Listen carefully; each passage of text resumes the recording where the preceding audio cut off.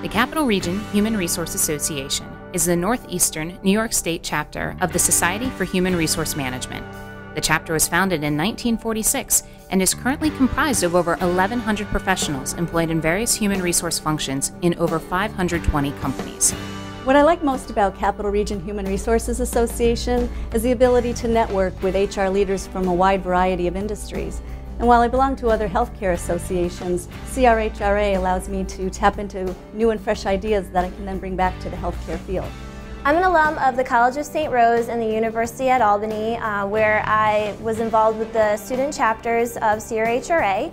The benefits of being a student member is you are allowed the opportunity to network with local professionals, which could allow you to gain internship leads, job opportunities, and also be able to be mentored by local professionals. What I love about being involved with CRHRA is the ability to do hands-on work with like-minded professionals in the HR field across the capital region.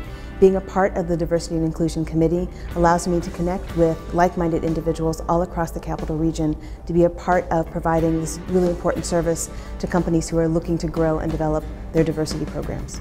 As a recent graduate of the CRHRA Leadership Program, I think this chapter offers a wonderful opportunity to its members to interact with local HR executives and to be exposed to the dynamic industries that this area has to offer. And for me, I think it was a wonderful opportunity and I'm proud to have been a part of it. Visit us online at www.crhra.org